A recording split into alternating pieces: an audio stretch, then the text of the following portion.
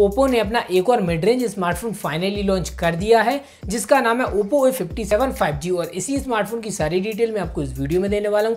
इसकी प्राइस क्या रखी गई है, इसमें आपको क्या क्या स्पेसिफिकेशन देखने को मिलेंगे क्या क्या फीचर देखने को मिल जाएँगे। और अगर आप इस वीडियो को पूरी देख लेते हो तो आपको अदर वीडियो देखने की ज़रूरत नहीं पड़ेगी। तो नमस्कार दोस्तों, मेरा नाम है राहुल मेहर। चलिए चलते हैं। डिज़ाइन की अगर बात की जाए तो Oppo A fifty seven five G smartphone का डिज़ाइन आपको थोड़ा बहुत मिलता जुलता Oppo F twenty one pro smartphone की तरह देखने को मिलेगा, जो कैमरा मॉड्यूल है सेम टू सेम उसी तरह का कैमरा मॉड्यूल इसी स्मार्टफ़ोन में दिया गया है और इसमें आपको बैक में बिल्कुल भी करवी डिज़ाइन देखने को नहीं मिलेगा। स्मार्टफ़ोन को आप विदाउट स्टैंड कहीं पर भी खड़ा कर सकते हो और इस स्मार्टफ़ोन में आपको बैक में हो सकता है, शायद लेदर देखने को मिलने वाली है। अब बात कर लेते हैं Oppo A fifty seven five G smartphone के स्पेसिफिकेशन के बारे में। इससे पहले यार वीडियो को लाइक कर लो चैनल को सब्सक्राइब कर लो। डिस्प्ले की अगर बात की जाए तो इसमें आपको 6.56 इंचेस की full H D plus IPS LCD display मिल जाती है, जिसमें आपको 269 पीपीआई की पिक्सल पर डेंसिटी देखने को मिलेगी और 90 एच के इसमें आपको रिफ्रेश रेट मिल जाता है। वहीं अगर ए फिफ्टी फाइव जी की परफॉर्मेंस की मैं बात करूँ तो इस स्मार्टफ़ोन में आपको परफॉर्मेंस के लिए प्रोसेसर मिल जाता है।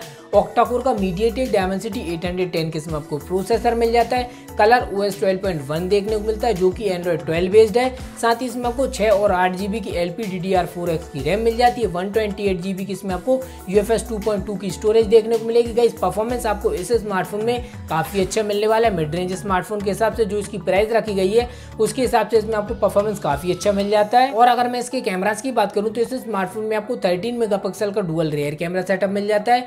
थर्टीन मेगा के इसमें आपको प्राइमरी कैमरा देखने को मिलेगा। साथ ही इसमें आपको टू मेगा के एक पोर्ट्रेट कैमरा मिल जाता है। फ्रंट कैमरे की अगर बात की जाए तो इसमें आपको एट मेगा का फ्रंट कैमरा मिलने वाला है। तो गाइज़ ओवरऑल इस स्मार्टफ़ोन में आपको कैमरा क्वालिटी कोई खास देखने को नहीं मिलने वाली। एक 5G स्मार्टफ़ोन के हिसाब से इसमें कैमरा थोड़ा और अपग्रेड होना था। और अगर मैं इसकी बैटरी की बात करूँ तो इसमें आपको मिल जाती है पाँच हज़ार की बैटरी जो कि 10 वोट की फास्ट चार्जिंग सपोर्टेड है। गाइस 5G स्मार्टफ़ोन के हिसाब से आपको इसमें केवल 10 वोट की फास्ट चार्जिंग मिल रही है।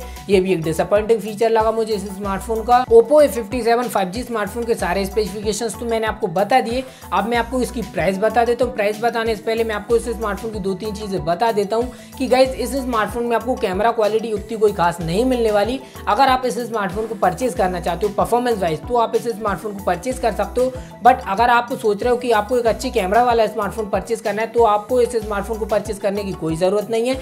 इसमें आपको परफॉर्मेंस अच्छी मिल जाती है बट कैमरा इसमें आपको कोई खास नहीं मिलेगा। और अगर इसकी प्राइस की बात की जाए तो इसे अभी लॉन्च किया गया है केवल चाइना में, जिसमें इसकी प्राइस रखी गई है चौदह सौ निन्यानवे इंडियन करेंसी में अगर कन्वर्ट किया जाए तो करीब सत्रह हज़ार रुपए के करीब इसकी प्राइस रखी गई है। इस प्राइस में आपको आठ जीबी की रैम और एक सौ की स्टोरेज मिल जाती है। देखते हैं स्मार्टफ़ोन इंडिया में कब तक लॉन्च होता है, क्या इसकी प्राइस रहती है। जो भी डिटेल रहेगी, मैं सारी डिटेल आपको बता दूँगा। इसके लिए चैनल को सब्सक्राइब ज़रूर कर लेना।